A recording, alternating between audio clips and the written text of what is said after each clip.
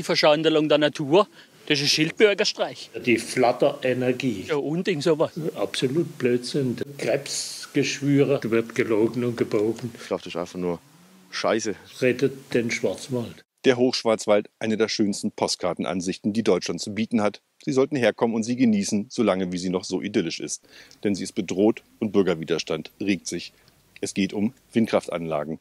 Mehr als 30 Stück sollen auf die Berge hinter mir kommen, 230 Meter hoch und in einer der windärmsten Gegenden, die Deutschland zu bieten hat. Wir waren im Schwarzwald unterwegs und haben uns umgehört. Also ich, glaube, man muss ja weit fahren, dass man so eine Landschaft findet wie bei uns. Und jetzt wird alles versaut durch die schwachsinnige Windkraft. Das ist einfach nur scheiße, schade eigentlich. Nirgendwo in Deutschland ist der Windertrag so gering wie hier, so mies, wie er sich darstellt. Nirgendwo in Deutschland kann so wenig damit erwirtschaftet werden. Äh, nirgendwo muss der Steuerzahler so tief in die Tasche greifen, der Stromzahler so tief in die Tasche greifen, um das zu rechtfertigen, was hier passiert. Ja, bei dem einen da, da kommen wir her. Und wie finden Sie das? Wie finden Sie das? Besser wie Atom? Obwohl, das, da waren ja mal zwei. Und eins ist wieder weggemacht worden. Wegen zu wenig Wind. Ja, kurz nachdem das gebaut war, vielleicht dreiviertel Jahr, hat man es wieder weggenommen, weil die Windausbeute überhaupt nicht verfügbar war. Dass die Politik die sanften Hügel des Schwarzwaldes trotzdem mit hunderten Windkraftanlagen zupflastern will, das empört einen der bekanntesten deutschen Ingenieure, Martin Herrenknecht, Weltmarktführer im Tunnelbau. Seine Kritik? Wir verballern 30 Milliarden heute für Solar und Wind, ohne ein richtiges Konzept gebaut zu haben. Absolut Blödsinn. Das Gesamtkonzept stimmt nicht. Und da brauchen wir ein Konzept, ein richtiges Konzept. Kabel vom Norden in den Süden nach Bayern, Baden-Württemberg und konsequent in die Schweiz, dass du den Strom, den du dort erzeugst, auch wirklich verwenden kannst.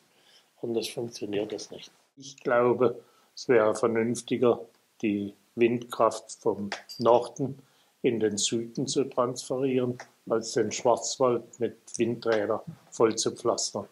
Und dann das Konzept Energiewende nachher ist, ist richtig, schätze ich, aber vernünftig und nicht idiotisch. Und dann brauchen wir eine Agenda 2035, Energiewende, in der Agenda 2035 muss Bildung drin sein, Digitalisierung, Breitband, dass wir keine Funklöcher mehr haben, das ist auch wichtig, Migrationspolitik und Infrastrukturpolitik. Und dort nachher richtig glotzen. Wenn du anschaust, die Natur, die ist so, sag mal, ohne dieses Getöse und ohne diese scheiß Windrädchen ist ja Erholungsgebiet im Perfekten. Wissen Sie, was mich in den Widerstand treibt? Das ist die Tatsache, dass in unserem Schwarzwald, in unserer wunderschönen Schwarzwaldlandschaft, dass die in einen Industriepark umgewandelt werden soll.